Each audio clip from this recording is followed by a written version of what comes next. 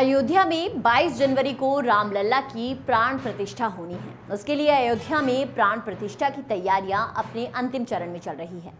Railway ने 16 से 22 जनवरी तक, यानी सात दिन के लिए, अयोध्या जाने वाली सभी ट्रेनों को रद्द या डाइवर्ट कर दिया है। वहीं रोडवेज़ बसें भी 21 और 22 जनवरी को अयोध्या में प्रवेश नहीं कर सकेंगी। प्राण प्रतिष्ठा को देखते हुए रूट डायवर्जन किया गया है।